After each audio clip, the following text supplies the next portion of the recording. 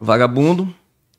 Toda vez que eu, é, eu nesse local, é na Timbiras, nós prendemos seis. Eu tenho até o vídeo eu chegando, enquadrando todo mundo e eu com- trocando uma ideia de polícia pra bandido com eles e eles foram lá desenterrar a droga todinha, tudo filmado, tudo filmado.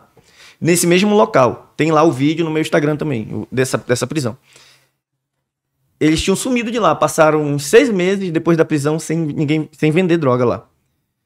Quando eles chegam lá, os próprios po- populares me mandam mensagem no Instagram denunciando. Sargento, eles já voltaram, assim, assim, assim, não moram aqui. São, são, são de fora, eles só vêm pra vender a droga e vão embora. Falei, deixa comigo que eu vou pegar.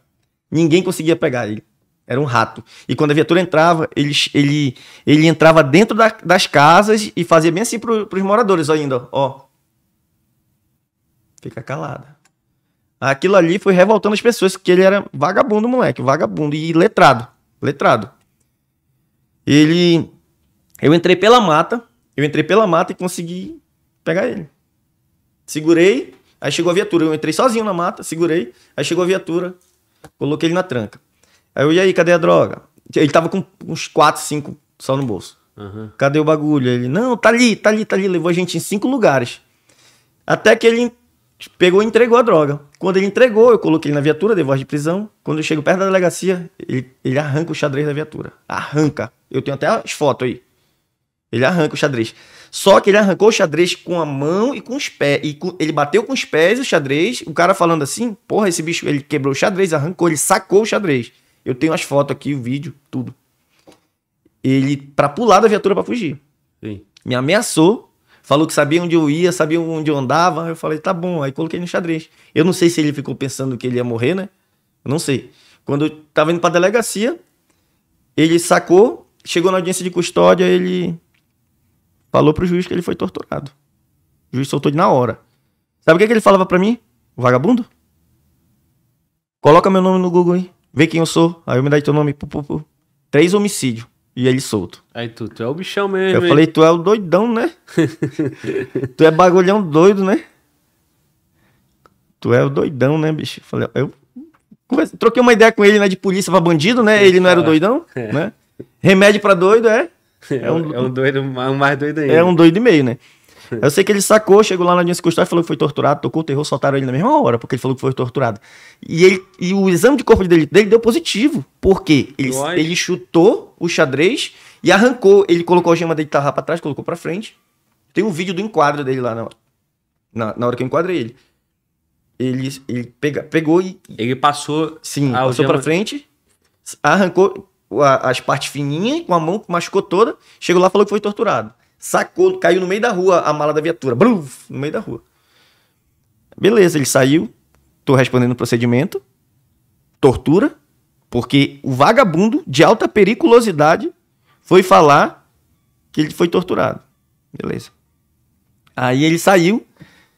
Eu peguei, eu acho que uma semana de férias aí, porque lá eu, cada, quem tirava em primeiro lugar nas apreensões ganhava ganhava oito dias de folga. Aí eu passei um bom tempo tirando. Aí eu passei oito dias em casa, ele saiu, ele voltou pro mesmo lugar. Só que ele já sabia minha escala. Ele ficou, ficou ligado na escala. Quando ele chegou lá no local pra vender, me ligaram de lá, novamente, mandaram mensagem pro meu Instagram. Sargento, ele tá aqui de novo. Aquele cara que senhor prendeu, tá aqui de novo. Tá bom. Peguei, fiz contato com o pessoal que tava de serviço. Vai lá, mano. Vai lá, mano. Tá assim, assim, assim. Ele tá. Beleza, foram lá, seguraram ele, tava com a droga toda no bolso. Ainda tava com uma menor. A menor segurando uma parte da droga. Eu sei que nessa brincadeira foram três pra cadeia. Ele chegou lá. Na. Na. Já era viatura grande. Quando a gente, a gente pegou era a viatura velha. Que era aquelas Oroch. E agora é, é, é a Ranger. É porrada, assim. É bem segura ela. Ficou bom, né? Se ele for tentar varar lá, ele vai quebrar as duas pernas dele. e os dois braços. E aí vai ser pior, né? Se ele tentar varar, que ainda vai sobrar pro Isso polícia. eu né? ia falar. Aí ele pegou, foi pra audiência. Eu, só que eu, eu sou. É vivendo e aprendendo, né? Toda vez que eles vão pra preso, eu já vou no processo. Peço da minha amiga aí, da Milena. Vai, Milena, entra aí e vê o que, que ele falou. Rapaz, ele falou que foi torturado. Tá bom, já, já prepara o couro pra ser chamado lá no Ministério Público. Aí ele, ele foi preso de novo, meu outro colega prendeu ele. E Eu fui lá, entrei no processo de novo. Não foi eu que prendi, mas eu entrei no processo. Ele, o exame de corpo dele, dele deu negativo. Ele não tinha uma marca no corpo e ele falou que foi torturado. Ou seja, já vai servir, já vai servir de, de para minha defesa. Entendeu? Eu vou pegar, tá bom, ele falou que foi torturado, tá bom, tá aqui, ó. Mesma coisa ele falou no, no outro procedimento que o, o, o, outro policial prendeu. E sendo que nessa aqui ele não tinha, ele não tinha nenhuma marca no corpo. Né? Ele é sempre torturado. Ele é sempre torturado, o vagabundo, né? Agora virou moda, depois que, que inventaram a audiência de custódia, virou moda, né? Virou moda. Ele fala que é torturado, ele é solto, pô. É a senha contra a senha, né? É, é difícil. né?